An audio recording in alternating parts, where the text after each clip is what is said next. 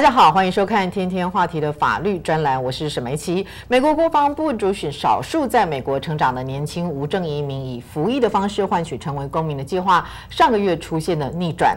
为了避免与共和党发生冲突，白宫暂时对这项计划喊停。所以今天节目现场特别请到移民律师申春平申律师来到我们节目现场，跟我们谈谈这个以服役换取成为公民的这个计划，同时还要再谈一下其他的一些和移民相关的议题。申律师您好。呃，媒体你好，各位凤凰凤凰卫视，大家晚上好。啊哈，啊，孙律师，我想先问您一下，就是说这个呃移民的呃紧急人才征兵计划呢，过去我们一直会以为说它只是会适用于老墨比较多啊，对对。但是后来因为做节目的关系，我上网特别查了一下，我发现其实。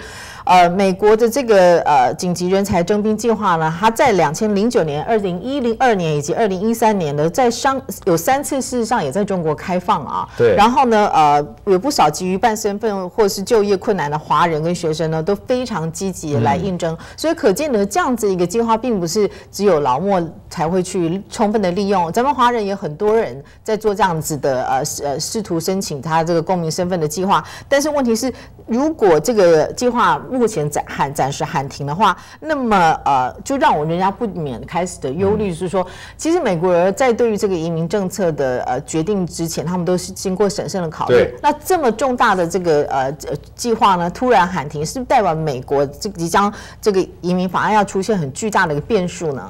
不会，这个是这样哈。我们看出呢，呃，首先感谢媒体把这个话题引出来了啊。这个实际上我也是想跟大家。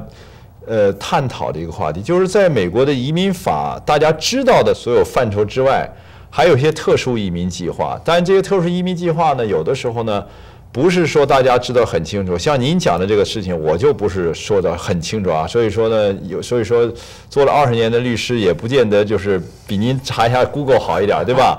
所以这是一个事情。您指出这个事情有一个最大的好处啊，就是说呢，大家要关注一些呢。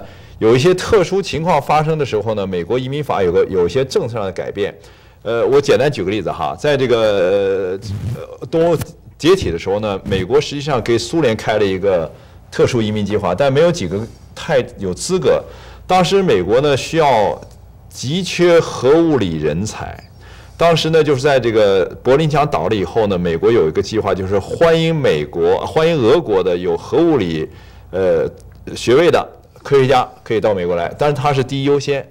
那这个呢？这个您今天讲的这个事情呢，有过这个事，就是在伊拉克战争的时候呢，当时美国比较紧缺这样的这个双语人才，对吧？懂得阿拉伯语和懂得那个，呃，懂得那个呃英文的人特别少。其中我一个朋友哈，就是他原来在阿拉伯语就是在埃及学过，他当时美军找不到他几次，但他也是公民了，就是他那样人找的特别紧。所以有一部分人呢，有这样特殊人才的一些，特别是双语，美国这双语看得很重很重很重。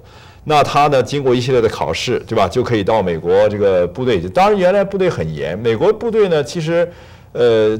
因为它不是志愿兵制，也不是义务兵制，它是一个募兵制。台湾和大陆都是志愿兵，呃，I'm sorry，是这个义务兵，你要尽义务，对吧？台湾比大陆还厉害，就是说你到了十八岁一定要去去当这个兵。大陆呢也是义务，但大陆人多。美国呢一般是一个募兵制，就是说呢你你招兵，你来，你你你没有义务，但是你可以你可以来这儿征征到以后，你中了彩以后你可以，因为美国兵的待遇很好的，就是你在部队的时候呢，你有这个薪薪金。我们还有 Veterans Hospital，最近有争议就是。退休以后，你有专门的服务你的机构，特别还可以上大学。这个可能对很多华人呢，我们见了很多大陆来的这个年轻人，上了美国两年、三年，男男女女都有。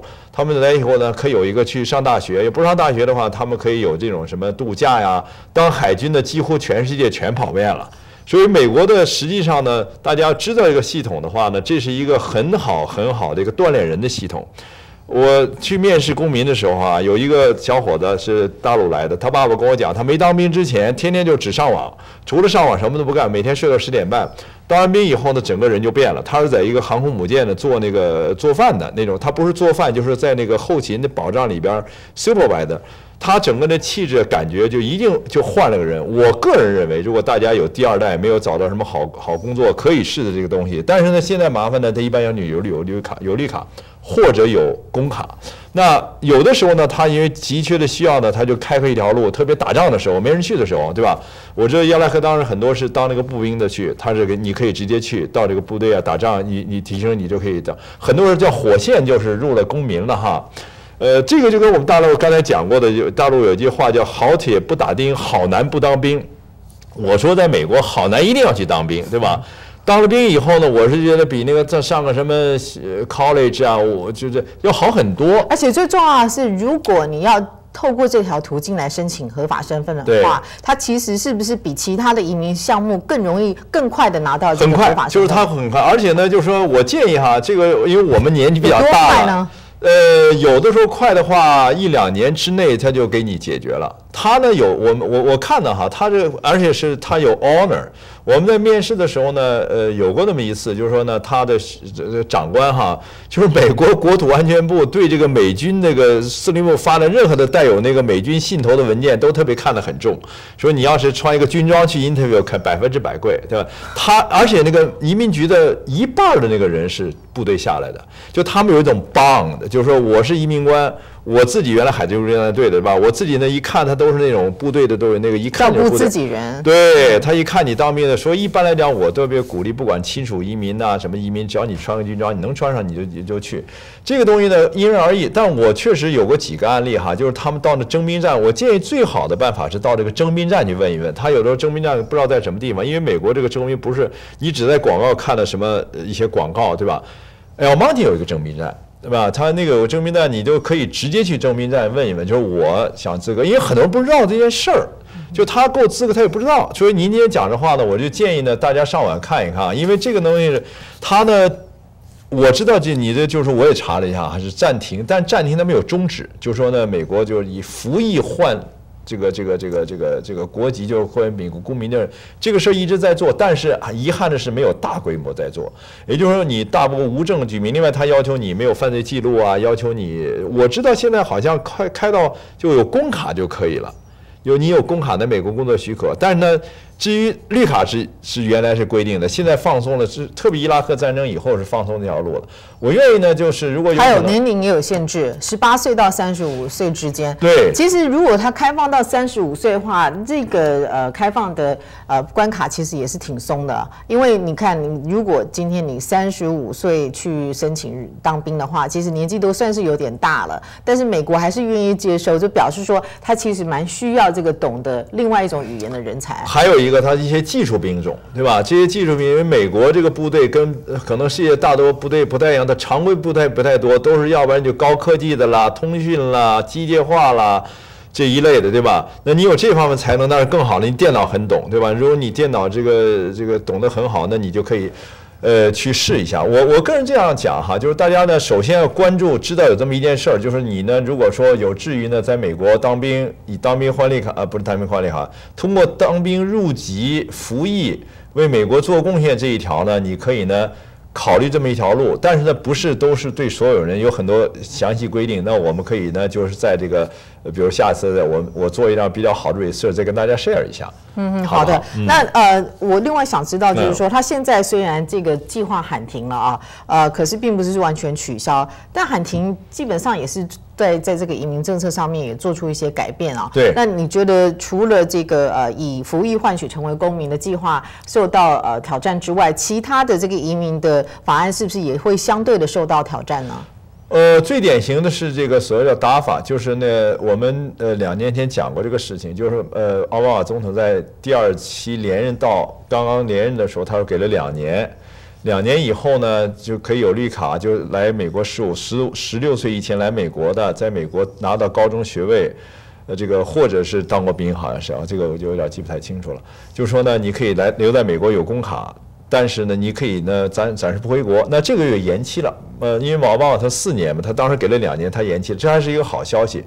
呃，别的呢，目前来讲呢，不是很明朗，因为呃，特别是最近有一个消息，大家也都是知道的，就是在南部啊。在墨西哥边境，现在有很多这个非法移民小孩儿就不断的在来。当然，最近还有一个很不好的一个一个事情，就是说呢，美国最高法院呢，呃，以这个五比四呢，做出一个判例，就是如果你的这个小孩儿到了二十一岁，你过了二十一岁了，你的排期到了，亲属移民排，你要重新回到，对吧？举个例子，就是说，他本来呢，他爸他爸爸妈妈帮他申请的时候，他可以算美国公民的小孩儿，等到排期到了二十一岁了，二十一岁就算是美国公民的。成年成年人就要要要排更多两年。那这个实际上，奥巴马总统当然呢，他也没有把想把这个口子开得那么宽，他就想给一部分人这样做。那最近这个判例就说呢。呃，基本上我个人认为这不是一个保守党的一个胜利了，也不是共和党的胜利。就是说，法院来解释当时呢，整个奥巴马总统的初衷是给每哪一部分人的 benefit，后来扩大了很多了，什么庇护的啦，什么都是二十一岁说我们以前申请的，的就就是这个是一个二零零六年一个法案，现在等于把这个法案重新解释以后给 narrow down，就是把那个人口子变小了。据说呢，现在很多小孩从那个墨西哥边境过来啊，特别是美国的这个比较这个呃，不能说保守吧，比较共和党呃比较重的这个 Fox News，你要看 Fox News 对这个奥巴马总统的移民政策颇有微词，就是说来了很多人呢看的确实很吓人啊，那抓了很多人，所以我个人认为就是说呢，奥巴马总统最近因为有些很多别的事情，对吧？哦呃伊拉克战争啊，叙利亚。这个这个欧盟的一些事儿，他就等于是一旦呢，他压力大以后，这个移民的声音就越来越小了。这个时候，我觉得，因为他连任可能还有两。那所以您刚刚说的这个二十一岁的成年呃人的话，他呃这个时候如果拿到呃合法身份的话。那么他是，如果他要面试的话，那他得回去他的申请国去面试，是不是？不是，他呢在申请国面有分两个情况，一个就是他应该是在境外，对吧？境外在境外，对，那你们不好意思，你过了二十岁重新排吧，重新再排一次，或者排到另外一个一个一个一个 category 里边去。哦，这个是一个很大很很大的变化，对，可能会影响到十几万人吧。好，那我们现在先进一下广告，广告回来之后，我们再请沈律师跟我们谈一谈更多有关于移民相关的政策。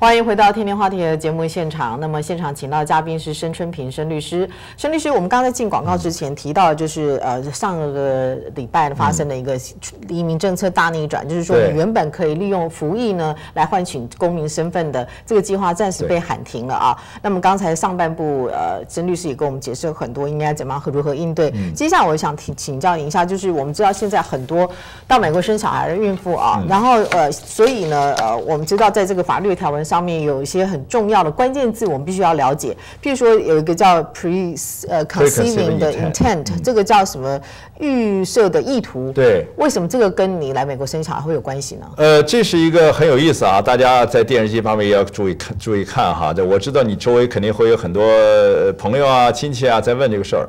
呃，其实呢。从移民角度来讲呢，从入境到离境是一个像一个这个怎么说呢？就像一个一个半圆一样哈。我呢今天就是从这个入境开始讲一下，后希望将来讲到出境哈。美国在大家知道哈，这个不管你七天内来美国，你到美国来美国的时候，你都要到领馆去拿一个签证。这个签证呢是谁来发呢？是美国国务院驻海外的领事馆发的。那发的时候呢，一般他有一个面试，面试的时候他就会问你说你到美国去干什么？第一句话。你到美国干什么？对吧？这个白人他会说中文，没有但没有四声，对不对？你到美国干，我到美国去旅游啊，到旅游好吧？那实际上你很多时候呢，现在目前这个孕妇来的美国的时候，她看不见的，实际上有人也看见了。他说我到美国去旅游，但签证现在很松，因为什么呢？我个人认为可能是因为美国经济不好，希望大洲来来来这儿进行一些投资啊，生小孩儿，所以这个是大家装视而不见。但是你真正的意图是去美国生小孩儿，你跟美国移民官说，我到美国去旅游，好了。你坐了飞机从北京出发到了洛杉矶了，洛杉矶下关来了一个国土安监部的海关执法局的一个人，讲哈，他看你怀孕了，这因为你这三个月了嘛，他说你到美国干什么来了？我在美国去旅游。他说你怀孕没怀孕？这个很关键。如果你说怀孕了，我要美国生孩子，百分之七十不错，他会让你进来了，而且甚至给你三个月，给你半年。还有一部分我就没怀孕，我到美国去旅游，OK，我或者我怀孕了，但我还要回国。这个时候呢，有两种情况，一个呢会叫一般会叫你到小屋子去，叫 secondary interview，很多现在洛杉矶最近很多很多，去以后他会问你说你怀没怀孕？她怀孕了。他说你来美国干什么来了？我来美国呢是旅游，我我就是来旅游。那你怀孕怎么办？我要回去。他说这个时候呢就就是说你实际上他给你定义说你欺骗美国政府，很多人是这么说的。为什么叫？当然这个不是说你那个骗了很多钱，对吧？是一个小的 civil fraud。你欺骗美国政府就根据这个，他说你欺骗美国就是你在入境签证那一刻的时候呢，你实际上到美国是来生小孩了，就叫 preconceived intent。你真正的意图就是藏起来的意图是来生孩子。现在你告诉我你不是来生孩子，你说我来旅游，那这个就是一个目前很多很多我们见到这个案例就是这么一个案例，他就说你来骗美国政府，给你有十五天，给你三十天，给你两个月。但如果你进来的时候你肚子不是很大，那他怎么知道你是不是骗他呢？啊不。他问你啊，他有一半，believe me，相信我哈，就一半人说我就是没怀孕，哎，真的，你我说你为什么不就老老实说你怀孕不就好了吗？对吧？当然了，你可以在这找律师延期，你可以。所以你一直说美国的移民官现在眼神被训练的很精准，他一看，不管你肚子有没有隆起，他一看都知道你是不是孕妇啊。他是他大部分的在机场来讲呢，现在这个孕妇的这个特点是来的越来越晚，原来是可能是藏还藏藏掩掩的，现在直接挺着大肚子就进来了。反正我见了好几个五六月份七八月，但是我后来觉得呢。哎呀，美国政府或者美国在移民还算比较仁慈，大部分你承认了说我来生孩子就算了，他基本就让你过去了。啊，所以你意思说现在有很多孕妇，她是明明已经鼓着肚子，然后她还跟移民官讲说她不是我没怀孕，然后我不是来这里生小孩。对，或者说我怀孕我要回去，对不对？那这个时候呢，就是我个人建议，就是说现在这个时候你说我给你出一个很好主意呢，我觉得我没有个很好主意，但是我千万就觉得美国这个移民官他比较不喜欢你撒谎，不喜欢你呢。就明明是怀孕了，你都看见你都怀孕，你不怀孕，你说哈？反正我后来我的经验就是说，进来以后呢，你直截了当说怀孕的。那他觉得你骗他的情况之下，他会把你一个大着大腹扁扁的这个孕妇直接原机遣返吗？这种可能性比较小，为什么呢？就是说呢。美国呢，这个政府啊，这个很怕一件事，很怕你万一把你遣送回国的时候，这个小孩流产了以后呢，这个人命，这个美国人命比较值钱，你有个律师马上就来起诉美国政府来了，对吧？最近有一个案子，这个我一个朋友起诉，通过一个赔赔联邦政府赔了一点六个 million，但是他是另外一个案子，就跟这没关系。但是就是说，他宁可让你这个，但是他他会在你护照签个字，这个护照就是说他也觉得。护照有一个签，他说你不能在美国调整身份，你不能美国转换身份，甚至有的把你签证给你取消，取消也告诉你在这儿只有十五天、二十天、三十天，你小孩明明是三个月以后要生，对吧？所以这个事情呢是目前一个呃很很发生很多，而且呢很常见的事情，所以大家呢今天拿出来这是一个活的案例给大家提醒一下，嗯。那还有一个所谓的这个 gainful employment，这个又是怎么一回事呢？OK，呃。一般来讲呢，这又是签证的时候涉及到怎么来美国。他问你的话，他说你到美国去是干什么？这个中国人说，我到美国去工作。你在美国不能工作，因为你是 B1、B2 签证。这个叫 gainful，就你在美国呢有报酬的工作。这个案例呢，就是我们也是一个新的案例。这个案例，这个人呢在杭州，我前一段回去了哈。他呢在美国注册一个公司，雇了很多人，跟很多人以后呢，他进来的时候呢，他说我到美国去这个呃去。呃，去访问进关的时候，他不会外语，我觉得不会外语是很大的，是很大的一个亏。就是他看着你就不会外语的，就跟你去，去了以后就翻他的包，翻的包翻到一个公司注册文件。他说你在美国还有公司。当然了，我是觉得还有一个特点就是他碰到一个不友好的移民官哈。据他说，我不是对韩国人有这个偏见哈，都是个韩国人。他说的当然比较过分了，他那有很这些东西我没法证明，只听了一面之词。但有一点他说的，他拿了一个公司，他说。你在美国的 B1、B2 签证的话，你不可以在美国开公司，不可以在美国雇人，对吧？这个比刚才那个比较厉害。这个就当时就是把他护照给就是个给吊销，吊销以后给他一张纸，叫原籍遣返，五年不许入境。这个东西呢也有有，而且呢有的时候还会有个会搬关起来。那他还比较 lucky，他就问你要不然你就关起来，在美国待着，要不然你就回去。那他选择回去，回去以后呢？他拿了一张纸，这张纸就告诉他这整个他撒谎的整个内容，就是五年不许入境美国，叫他做所谓六零六零一豁免，就是你呢可以通过律师向美国移民提出来。那当然我们找的理由就是说呢，我并不知道什么叫 gain for employment，对吧？那就是说呢，我虽然在美国开公司，但是第一我没有拿公司，我只做一个被动的股东，对吧？我在中国，反正就很麻烦，因为什么呢？如果他批了还好，不批的话，你五年不许进美国。所以今天我把这两个在。入关的时候的两个这种活生生的案例哈，或者前一个是发生在我们每天的都在发生的事情，因为生孩子的人很多嘛，给大家对吧？我觉得凤凰卫视这么多年的给大家一些有一些指导啊，有一些告大家处理怎么处理情况。虽然我个人认为，就是说大家在签证呃在美国领馆的时候就要特别小心自己每一句话，因为呢，你拿到签证并不能保证你一定能进到美国来，因为到了美国以后，国土安全部可以拒掉你的这个属于签证的申请。或者是给你一个很短的期间让你待在美国，因为这个待在美国你进来没关系，他知道。但你下次再入关的时候就麻烦了，对吧？他拿你签证，他都在电脑上一看，说你。哎，他这电脑的这个记录可以保持几年啊？十一年，嗯，呃，甚至更多。呃，那现在大家还知道一件事儿哈，说我我我换一个地方去啊，我到，因为现在全是联网了，大家知道你在美国申请签证的时候你要打一个指纹。你入关的时候还要打一个指纹，言外之意就是说，这个当然不是说针对我们这个呃大陆啊、台湾呐、香港，是因为美国反恐的需要，对吧？美国现在就是整个建立一个全球这个恐怖分子指纹系统，因为他宁可是多小心一点了，他也不愿意说好像我漏掉一个事儿，所以这样的很对很多旅游者就就发生矛盾了，就是他有的时候他不不明白，特别大陆来的朋友很多都不会外语，对吧？而且呢，这个又正好赶上有些移民官。就是或者海关执法人员呢，他有觉得，我就觉得人越多了，人越招人烦，对吧？这个你刚一个人就好一点，对吧？呃，物以稀为贵。对，反正就是我把这两个事情呢，跟大家提出来。供大家呢做些参考。那所以这这就是你在入关的时候，你要特别小心的，不要掉进这个移民局的陷阱啊。对啊，然后呢，如何回答这个执法人员的是一个问题，也是一个智慧。那么你到了美国之后呢，不不是代表说你这个合法身份就会一劳永逸了。对对。像有些留学生他来这边，他其实是本原本这是真的要来念书，可是念书念到一半之后，家里出现经济困难，没有办法供让他继续读书，那他自己要在美国生活啊，所以他就打工了。嗯。那就身份黑掉了，黑掉的话是不是代表他就永无见到光明之日呢？呃，梅姐，你又找了一个好好的题目哈。这个实际上我们就是又碰见了很多现在呃，不但对旅游开放了，美国的学校也对这个大陆开放了哈。从前是对我们研究生在开，现在为大学，现在是从这个中学往小学都开始开放了。我就看到一个小女孩。七岁拿了一个 F1 的签证进来，I was so amazed。说七岁就有 foreign student 哈，他妈妈是 B1，他是 F1，我都不相信，但是他确实有这件事儿。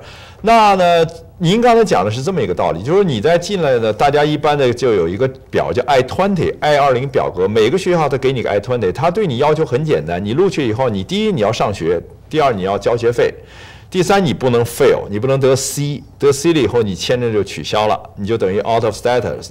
那很多人来了以后呢，没有这个心理准备，准备了一年的钱或者准备三年前，他不知道美国上大学还是还是比较正规的。美国的大学不是说随便就可以瞎混，你还要争取就是天天上学，而且这些小学生来了以后没有家长照顾，就一个人在这儿这个东游西逛的，所以很多孩子就在这就 out of status，就所谓就黑掉了。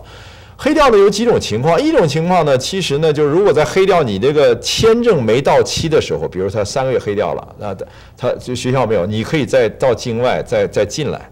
但如果你三个月签证以后呢，你就得回到中国去再签证。